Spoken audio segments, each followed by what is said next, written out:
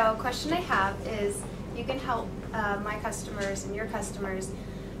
What's the difference between organic and biodynamic? Mm-hmm. Well, biodynamic is a concept that's actually hundreds of years old. Like you know, I don't know if you notice if you read any kind of any, uh, material on it, like uh, the the more like you know this century, and the 20th century, the cancer and many kind of illnesses and allergies has become so much more uh, dominant than before. Now, it's not a coincidence. It's primarily based on the idea of what we eat. Mm-hmm. Like, you know, hundreds of years ago, uh, agriculture was based on biodynamic concept for the most part, which means that you rotated all the plants, like you know when you planted anything, uh, so you wouldn't plant the same fruit or vegetable to the same area in the farm because you wouldn't want to deplete the nutrition uh, uh, from from that layer of the soil. So like for example, carrots going to be on the top of the, the, the soil. You wouldn't want to uh, you want to plant next year something different there that sucks up the nutrition from a different layer mm-hmm. of the earth, so have longer roots and like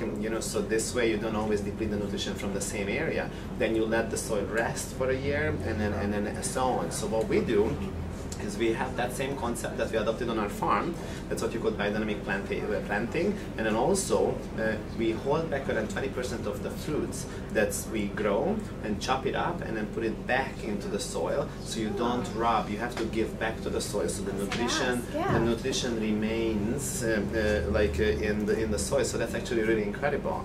Now that's one thing. The other thing is instead of using pesticides and chemicals to uh, get bugs and um, and all kind of insects away, we use flowers. Like you know, different kind of flowers have different scent, mm-hmm. the scents uh, that um, uh, bugs don't like. Right. You know, so so one of the things what we do is like we plant in our orchards. You see raw fruits or vegetables, and then you also see rows of flowers, and then the bugs don't like the way how it smells, and then they go to the neighbor's farm. Right. Uh, like uh, you know, so so and that's how we repel it. Okay, yeah. that makes that makes using natural ingredients to fight like insects and things other than pesticides and replenishing the earth by giving back 20% of your crops to keep that soil with those nutrients and ingredients and things so that when you plant again it's the the fruits are much more much more much more active. Now how is the translate to skincare? Well actually there's a few more things in there too is that instead of using um, um, also,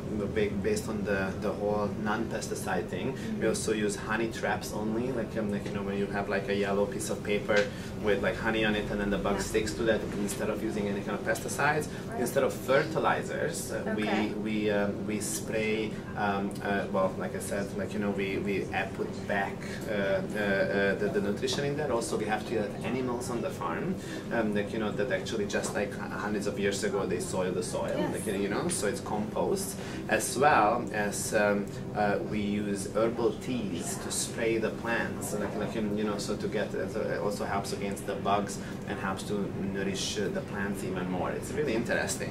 When we pick the fruits, we pick it during full moon, which is interesting also. It's not anything spiritual. It's actually a physical thing. Yeah. It's like during the full moon, the gravitational pull of the of the of the earth, just like high tide, like you know, the mm-hmm. water comes up, so the soil is more moist. So if you plant during that time, you get better crops, and that's like the farmer's almanac idea. Right. And then when you um, when you pick the fruits, the fruits are actually juicier and they have a higher nutrition content. So it's uh, it's pretty much uh, based on that same idea. So therefore, the fruits we have um, that's grown biodynamically have the highest nutrition and vitamin content and we pick those, put it into our creams and lotions and in return it makes the products very result oriented and also extremely hypoallergenic. So anybody who had cancer or um, uh, chemotherapy or going through like uh, or, or used to have cancer at some point and they're very conscious about not to put chemicals on their skin and um,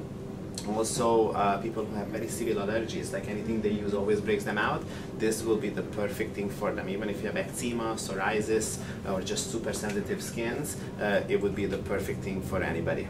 Well, after hearing all that, it makes me want to go and plant my own farm right now. Exactly, you should. so encouraging and inspiring. Thank you. You're welcome. Thank you.